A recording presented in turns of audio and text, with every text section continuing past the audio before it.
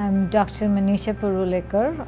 I am the interim division chief for Ger- Division of Geriatrics and also program director for our geriatric fellowship program. I started here as a trainee, as a fellow in 2002 and I have stayed on since then as a faculty and have come to this new position of being the interim division chief since May of this year.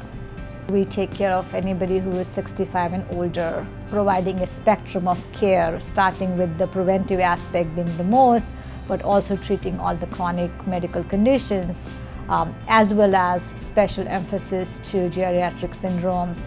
Uh, so the conditions that are more common, like dementia, falls, gait disturbances, multiple medication side effects. So those are the specialty areas that we focus on in addition to providing the preventive and the comprehensive care for the chronic medical conditions. The Hackensack University Medical Center has always taken a lead to work as care team model rather than silo model. We all come together, we all share notes. The electronic health record system has allowed us to create a comprehensive patient focused model rather than we doing things separately. Uh, and again, keeping patient as our focus.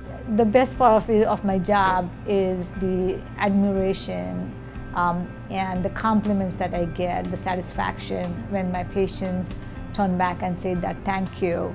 Uh, they really appreciate what we do for them. Um, they're very vocal about it. And the other part that I really enjoy is the, the experiences that I learn from my patients, uh, their life experiences, which teach me a lot as well.